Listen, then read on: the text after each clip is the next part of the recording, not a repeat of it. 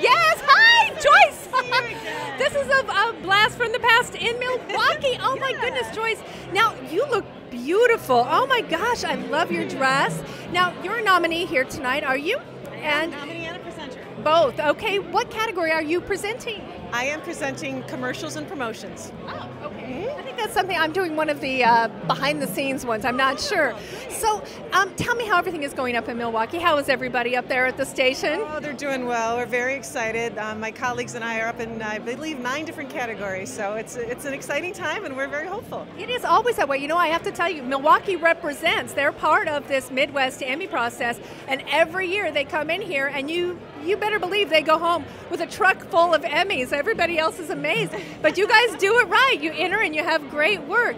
So tell me a little bit about now, are you nominated just for the anchoring or for specific story? I'm nominated in two reporting categories one for health and um, one for religion.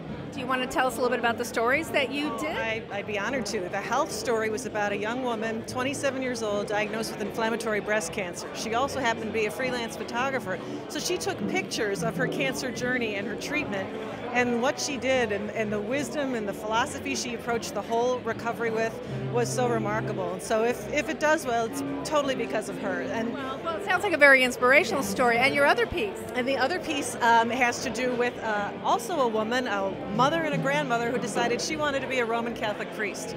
And as you know, Catholics do not allow women to be priests. She found an organization that says it would offer ordination to her, so she went ahead and did it, was excommunicated in the process, but for her the point was, she said, I need to address injustices in my own church before I can address injustices in the world. So so it sounds like you have you have two amazing pieces. Yeah, you do, and they sound absolutely worthy of the nominations and possibly of the awards. Thank you for joining us. Very honored, Tammie. Hi, Wonderful to see you. say you. Really quickly, hi to anybody in Milwaukee. Sure, my family and all my coworkers. We're keeping our fingers crossed, hoping we're going to bring home a lot of statues tonight. All right. Best of luck. It's so good to see you again.